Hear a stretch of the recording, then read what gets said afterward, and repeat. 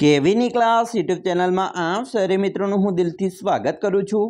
આજે વિદ્યાર્થી મિત્રો વાત કરવાના છીએ ધોરણ ચારમાં.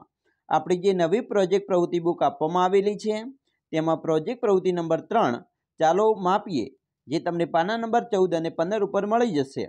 જેનું આપણે સચોટ, સાચું અને સંપૂર્ણ સોલ્યુશન આ વિડીયોમાં કરવાના છીએ. ચાલો વિદ્યાર્થી મિત્રો, આપણે વિડીયોની શરૂઆત કરીએ. તેના પહેલાં ખાસ ચેનલમાં તમે નવા છો તો ચેનલને અવશ્ય સબસ્ક્રાઇબ કરી વિડીયોને લાઇક અને શેર કરવાનું ન ભૂલતા. જેથી કરી અમે તમારા સુધી ધોરણ ચારના તમામ વિડીયોનું સોલ્યુશન મોકલી શકીએ. ચાલો માપીએ પ્રોજેક્ટ પ્રવૃત્તિ નંબર ત્રણ છે. એની અંદર મિત્રો તમે જોશો તો કે ભાઈ શાળા તેમજ ઘરની અમુક વસ્તુઓના નામ નોંધવાના છે, તેની યાદી બનાવવાની છે, તેની તમારી વ્યાતથી લંબાઈ અને પહોળાઈ માપવાની છે અને પછી માપપટ્ટી કે ફૂટપટ્ટીથી તેની લંબાઈ અને પહોળાઈ માપવાની છે. લાકડા, રિબિન, પ્લાસ્ટિક પાઇપ જેવી વેસ્ટમાંથી બેસ્ટ વસ્તુ વડે અંકન સાથેની ફૂટપટ્ટી અને મીટર પટ્ટી બનાવવાની છે. તમારા ઘરની દુકાન કેટલા પગલાં? તમારા ઘરથી તમારા મિત્રનું ઘર કેટલા પગલાં? માપનના અનુભવના આધારે વસ્તુનું માપન કર્યા વગર અંદાજિત લંબાઈને પહોળાઈ કહો અને પછી તેનું તમારે માપન કરવાનું છે.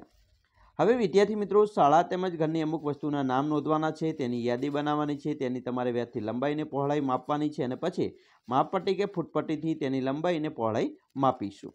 અહીંયા મિત્રો તમે જોશો, વસ્તુનું નામ છે, ઘરનો દરવાજો.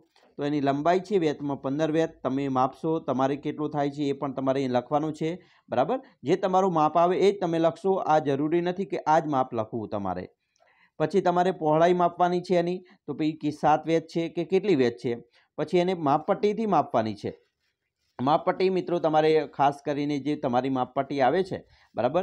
એનો ઉપયોગ કરી શકો છો અથવા બીજી ફૂટપટ્ટીનો ઉપયોગ પણ કરી શકો છો, જે એક ફૂટ જેટલું હોય, બરાબર?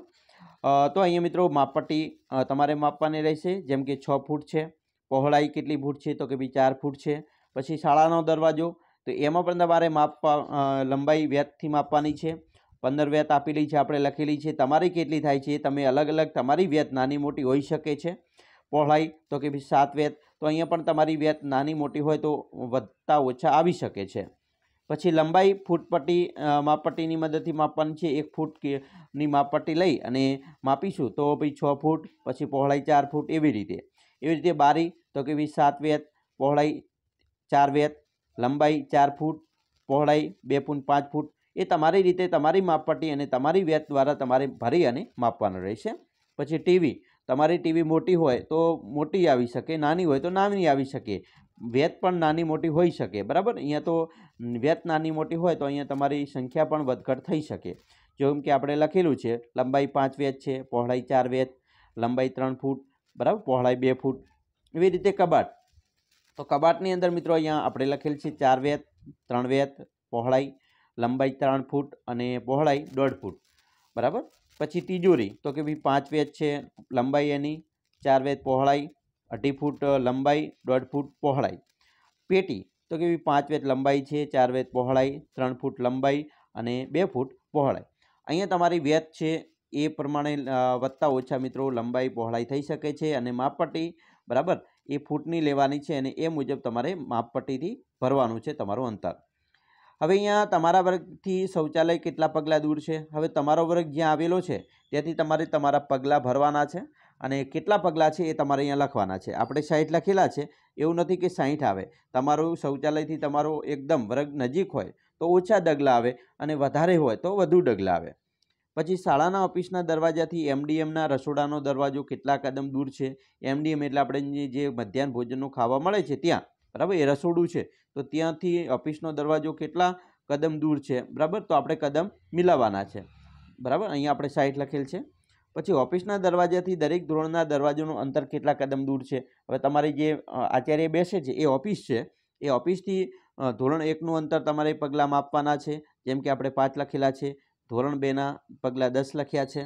ધોરણ ત્રણના વીસ પગલાં, ધોરણ ચારના ત્રીસ પગલાં, ધોરણ પાંચમાં ત્રીસ, ધોરણ છમાં ચાલીસ ધોરણ સાતમાં પચાસ અને ધોરણ આઠમાં સાઠ પગલાં લખેલા છે. અહીંયા વિદ્યાર્થી મિત્રો પગલાં છે એ વધતા ઓછા આવી શકે છે, કારણ કે તમારી શાળાની અંદર જે ઓફિસ છે અહીંયાથી વર્ગ કેટલો દૂર છે એ તમારે ખાસ જોવાનું છે, એના પગલાં ભરશો તો તમને આઈડિયા આવશે. હવે આ બધા અંતરનું માપ લખ્યા પછી તમારા વર્ગના પાંચ મિત્રોએ લખેલા જે માપ છે એની ચર્ચા કરવાની છે. ઓછા કદમ અને વધારે કદમ નોંધો અને તેનું કારણ સમજાવો. હવે મિત્રો અહીંયા ઓછા કદમ પણ આવી શકે છે અને વધારે કદમ પણ આવી શકે છે. કેમ? કારણ કે કોઈના પગલાં છે નાના હશે, કોઈના એનું કારણ છે. બરાબર? આપણે અહીંયા કારણ લખીએ છીએ કે કોઈ કોઈ વિદ્યાર્થીના પગલાં નાના હોઈ શકે, કોઈ વિદ્યાર્થીના પગલાં મોટા હોઈ શકે. જ્યાંથી પગલાંમાં વધતા ઓછા અંતર આવી શકે છે. તો આ એનું કારણ છે. તો આવી રીતે વિદ્યાર્થી મિત્રો આપણે તમારી પ્રોજેક્ટ પ્રવૃત્તિ નંબર ત્રણની વાત કરી. એમ દરેકે દરેક પ્રોજેક્ટ પ્રવૃત્તિનું આપણે સોલ્યુશન જોવાના છીએ. ખાસ કરીને અહીંયા તમારા, તમારી સહી કરવાની છે, તમારા વાલીની સહી કરાવવાની છે. અહીંયા જે પ્રોજેક્ટ કર્યો હોય, જે તારીખ, તે તારીખ લખવાની છે અને તમારા શિક્ષકની સહી પણ કરાવવાની છે. તો અમે આશા રાખીએ છીએ તમને આપણો વીડિયો ખૂબ જ ગમ્યો હશે. અને મિત્રો, વીડિયો ગમ્યો હોય તો લાઇક શેર અને સબસ્ક્રાઈબ કરવાનું પણ ન ભૂલતા.